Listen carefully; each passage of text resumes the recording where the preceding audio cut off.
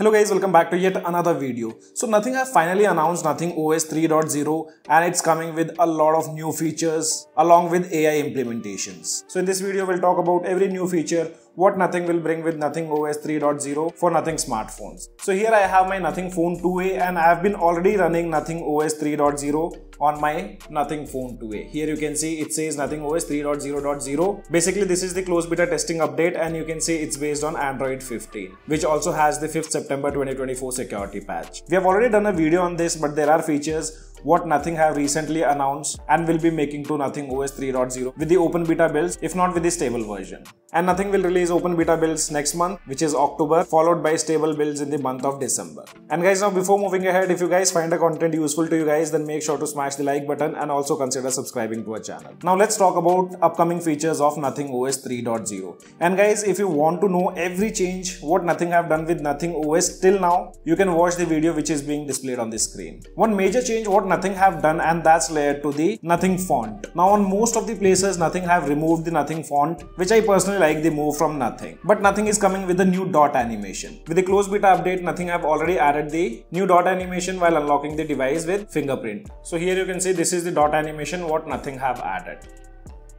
After that, they are also implementing the dot animation whenever you plug in the charger. So new dot animation will be implemented in the charging animation too. Along with that, they are also adding the nothing dot animation in the weather application. I'm not sure whether it will be a dynamic one, like the dot animation may represent conditions like sunny, cloudy and rainy weather. So this thing I'm not sure, but they are adding the new dot animation in the weather application also.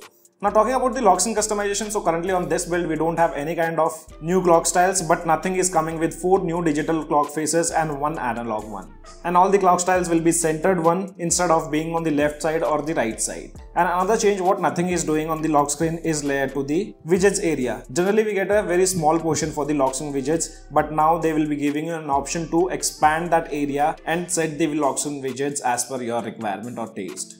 Another change what Nothing OS 3.0 will be bringing and that's in the quick setting tiles. And this is how it will look and I don't think there will be more changes in the quick setting tiles even with the stable build. So here we have lot many options like a single tile to change the ringing mode to vibration, ringing or completely silent. And with NothingOS 3.0, you'll also get to see the option to resize the quick setting tiles. So you can resize as per your requirement. Most of the quick setting tiles get resized very easily, but not every quick setting tile will have the expanded version like how the Bluetooth tile appears. And I hope nothing as the sliding gesture to increase or decrease the size of the quick setting tiles instead of this tapping one.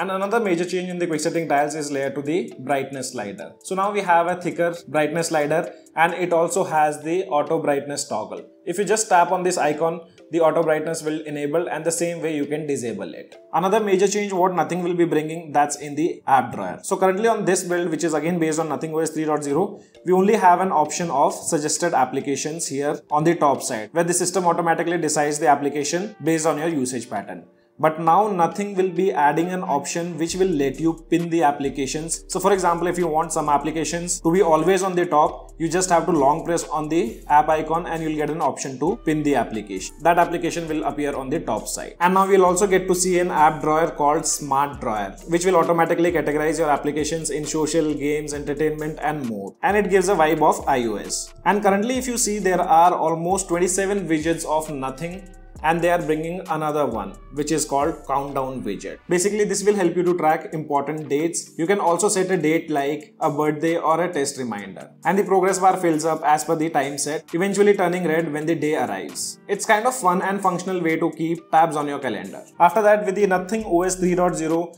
you'll have an option to share the widgets Currently, if you have any widget and if you long press, you can see there is no share option. But with the upcoming builds, nothing will be adding this option, which will let you share the widgets present on your home screen. You'll also be able to interact with the widgets through emojis. And as I told you guys, the AI implementation is also coming on Nothing OS 3.0 along with the Nothing Gallery application. So currently you can see there is no Nothing Gallery application on this testing build, but Nothing have confirmed that they are coming up with the Nothing Gallery application and Nothing claims that Nothing Gallery will open Photos 1.5 2.4 second faster when viewing pictures after taking them. Also HDR and portrait shots processing will be 25% faster what we currently see with the Google Photos application. And talking about AI integration in the Nothing Gallery application, one of them is the AI segmentation. Here the system will now highlight the key objects in your photos making it easier to focus on the main subject. And another AI feature which will be coming very soon that's the AI upscaling and super resolution. Here this AI feature will enhance the image quality when you zoom in and allow for more detail edits using AI technology. And the last major change what they have done that's in the settings page. So here you can see this is the new settings page what you'll see on Nothing OS 3.0 and I don't think it will be changing with the beta builds or stable builds. I personally like this segregation of how Nothing have done. For network we have a different section for customizations different and so on. So guys these are the upcoming features of Nothing OS 3.0. Which feature you like the most let us know in the comment section below. This is your friend Ashok signing out. See you guys in the next video.